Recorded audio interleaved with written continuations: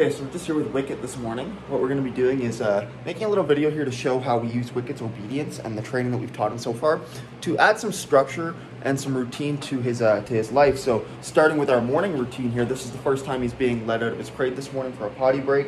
And what we're going to be doing is uh, showing you how he uses his obedience commands to navigate the house and provide him with the leadership that he really, really needs. And it's going to be important for his owners to follow these uh, this kind of routine or this structure in their day-to-day lives, especially when he first comes home, but um, even carrying on after that to again provide him with the leadership that he needs and the direction. So what we have, we have the slip leash on here, we have the e-collar on as well. So as soon as we open this crate up in the morning, that's the first thing we do is slip leash goes on, e-collar goes on, remote is turned on, e-collar is turned on, and we're good to go.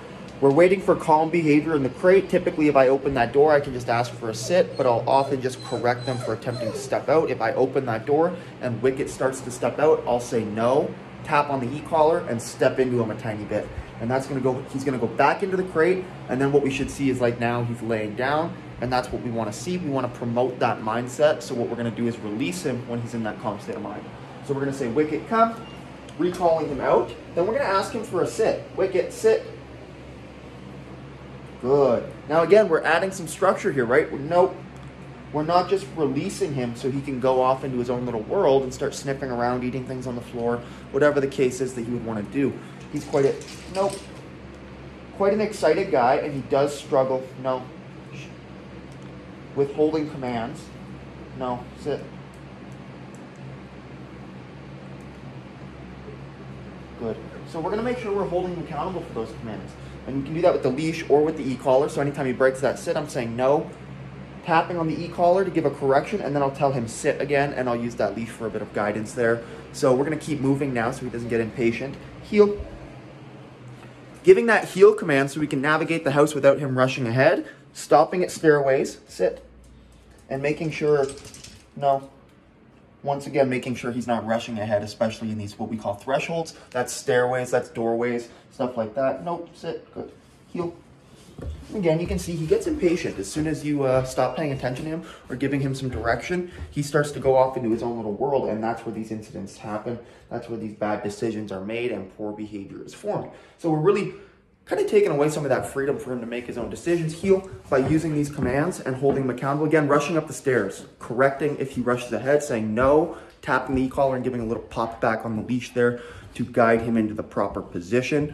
So now he's expected to heel through the kitchen and we're gonna let him out into the backyard for a potty break here and then we'll come right back to the sit sitting at the doorway before he's released for any doorway. That means any doorway, including the back door, the front door, the car door, the crate door, all doorways waiting to be released through. Nope, sit. So again, you can see struggling with the obedience here. So we're just gonna make sure we have our e-collar here. Wicket, come, sit.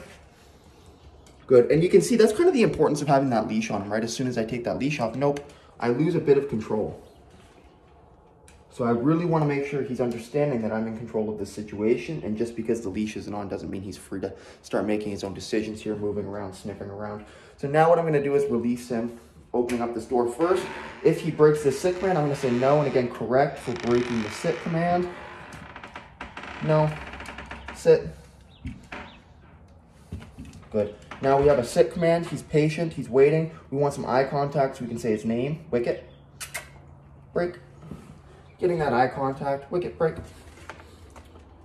Getting that eye contact, that's how we get the dog to ask us for permission is by giving us eye contact. That's again what we refer to as deference in these situations. So again, thresholds, any resource we want our dog to practice deference with. So this is one of those situations, the doorway that we're going to practice that every single day in every interaction. And it makes such a big difference if you can do it successfully. So that's kind of the morning routine here with Wicket. He's going to go out and go potty now. And then we'll show you letting him back in. We'll do a couple other commands and stuff with him and go from okay, there. just opening up the door. Leash is back on. I just put it back on here before we came in. Leash is on. He's in that sit command. I am going to grab his e-collar remote here as well. And so now we can release him back into the house. And the way we're going to do that is by recalling him in and having him sit so we can close the door and then again continue to move through the house in that structured obedience command, right? That calm state of mind where he's following us instead of off making his own decisions. Nope. Again, some anticipation, just a no. Sit. A pop on that leash and then I can remind him of the command if I need to. And you can see I'm applying that pressure upwards on the leash to enforce that sit command. Wicket, come. Want him to sit here, Wicket, sit. Good, using these obedience commands now to navigate the house. So what we could do now, there's a few options, right? Of course, we could just keep moving down towards the crate, I do, or towards the crate room. I need to let some of the other dogs out here. But what I want to show you first here is just using some of his other obedience commands in the house and how we can do that in a way that keeps things structured. So if I give him a uh, down command right now, wicket, nope, sit, wicket, down, no, down, so that's a no, a correction, tapping on the e-collar, and then repeating my command to get him into that down. He's just kind of learned that down reliably. Nope. Down. Again, no, and then correcting, marking with no when he breaks that command, tapping my e-collar, just a quick tap. Level 26 right now, so a relatively high level to get that correction through to him, and that level might go up even. Giving that command, he ignores it or breaks it, we mark with no, apply our correction after the no marker, and then we can repeat the command or help them as needed. You might see me like after I say no and correct, I might say down and then nope, down, point to the ground. I might use the leash to help guide him down, especially if he seems genuinely confused.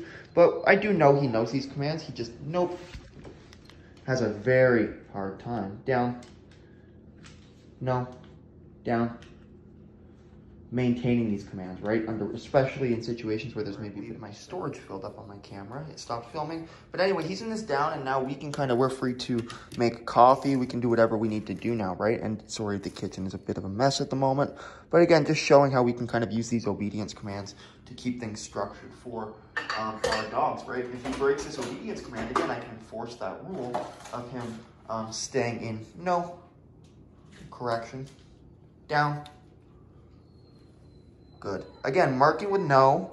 The remote was actually behind me in this instance, so I said no, reached back behind me, maybe took a couple seconds after I said that marker, and then I corrected. I said no, he actually stopped breaking the command and almost looked like he was gonna go back into that down when I said no, but very important we follow through with our corrections in these situations. That's a, a super important component here. It's making sure if you say no, you follow through with that correction because that means that, that that behavior that you didn't want to happen happened and you need to you need to let the dog know that it can't happen again. And the only way we can do that is by following through with our correction. If i just said no and he went back into that down yeah sure he fixed himself in this moment but then he's going to be inclined to break that command again. And again knowing there's no consequence behind that that marker that no. And we want our no marker to be quite powerful and associated with a consequence 100% of the time. So Anyway, this is just some of the commands that we're using with Wicket throughout the day-to-day. -day. So he's in the down command. I'm actually making a coffee right now. And then we're going to bring him down the stairs using our heel command, making him wait at the stairs, and putting him back in the crate for feeding time. So we're going to go do that with him here. And then uh, we're going to bring out another dog and go from there.